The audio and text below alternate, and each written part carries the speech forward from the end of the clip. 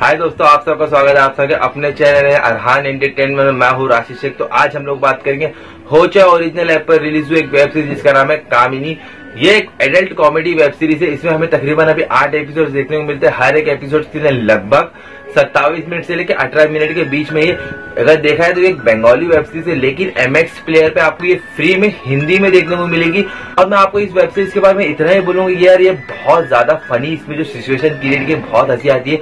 अगर इसका कॉन्सेप्ट की बात है तो कॉन्सेप्ट इसका स्त्री मूवी जो बॉलीवुड की आई थी, बिल्कुल उसी तरह का कॉन्सेप्ट है, लेकिन उन लोगों ने कुछ अलग तरीके से उसको बनाने की कोशिश की गई है, जो कि ज़्यादा फनी लगता है। इसमें एडल्ट सीन्स एक भी नहीं है, लेकिन जितने भी डायलॉग्स है, वो डायलॉग्स एडल्ट से लेकिन बहुत हँसी आती है। और स्पेशली यहाँ पे जो डिटेक्टिव अर्नब है, उसके सीन्स आपको बहुत ज़्यादा हंसाएँगे।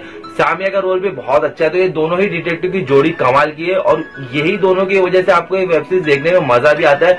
और कहानी की बात है तो कहानी शुरू होती है कलकत्ता का एक शहर, जहाँ पर दो डिटेक्टिव है, यानी कि अर्नब और सामिया, दोनों का डिटेक्टिव एजेंसी है कुछ की डिटेक्टिव एजेंसी कुछ खास चल नहीं रही, काफ़ी कर्जे में आ चुकी है, लेकिन तभी वहाँ के मिनिस्टर उनको एक केस देते हैं, यानी कि उनके बेटे की किडनैपिंग केस देते तो यार वो सोचते किसी भी तरीके इस केस को ले ले, क्योंकि उनको मोटी रकम मिलती है। अब वो केस तो ले लेते लेकिन उनको ये नहीं पता होता कि केस लेने के बाद उनकी किस तरीके से बचने वाली। क्योंकि जो मिनिस्टर का बेटा था, वो नुशातीपुर गाँव के करीब एक हाईवे है, वहाँ पर एक लड़की को लिफ्ट देने के चक्कर में रुकता है, उसके बाद उसका नियत फिर जाती है उस लड़की को लेकर, फिर वो लड़की के साथ सेक्स करने के लिए उसे जंगल में लेके आता जंगल में लेके जाने के बाद काफ़ी घंटे हुए थे तब वो बाहर नहीं आता, तब उसका दोस्त सोचता है कि ये आखिर गया कहा लड़की को लेकर? तो वो जंगल के जैसे जाता है, उसका दोस्त तो देखता है कि उसका दोस्त तो वहाँ पर नहीं मिलता, लेकिन वहाँ पर कुछ कॉन्डम्स कुछ कामिनी फूल मिलते हैं और उसके दोस्त का वॉल मिलता है। तो यही केस दोनों डिटेक्टिव को मिला है और फिर इसी वजह से वो दोनों डिटेक्टिव जाते हैं, नुशातीपुर गाँव, वहाँ पे इन्वेस्टिगेशन करते हैं। इन्वेस्टिगेशन में पता चलता है कि सिर्फ़ मिनिस्टर का बेटा ही नहीं, बल्कि इस गाँव के जितने भी मर्द है,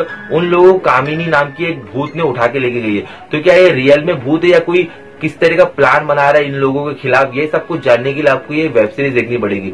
ये वेब सीरीज़ स्टार्ट से लेके एंड तक फ़र्स्ट एपिसोड से लेके आठवें एपिसोड तक आपको फुल टू हंसाएगी। स्पेशली अर्नब के सीन्स आपको बहुत ज़्यादा हंसाने वाले हैं।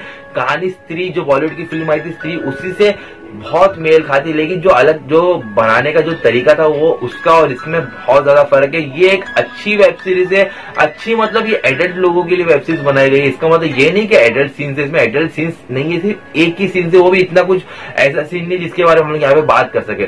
तो मेरे हिसाब से ये बड़े लोग के लिए वेब सीरीज़ बनाई गई है और जो लोग फनी वेब सीरीज़ देखना पसंद करते हैं फनी एडल्ट वेब सीरीज़ देखना पसंद करते हैं, उन लोगों के लिए वेब सीरीज़ है। तो पर्सनली ये आटो के आटो एपिसोड देख के मैं कहीं पे भी बोर नहीं हूँ और मैं आप लोगों से रिकमेंड करता हूँ कि अगर आप लोगों ने एमएक्स प्लेयर डाउनलोड किया तो वहाँ पर आप इसे हिंदी में फ्री में देख सकते हो। तो यार इस वीडियो में इतना ही। अगर आपको वीडियो पसंद है तो वीडियो करें लाइक चैनल को सब्सक्राइब मैं मिलूँगा आपसे कल किसी नए वीडियो में। टिल दुआ में याद रखना।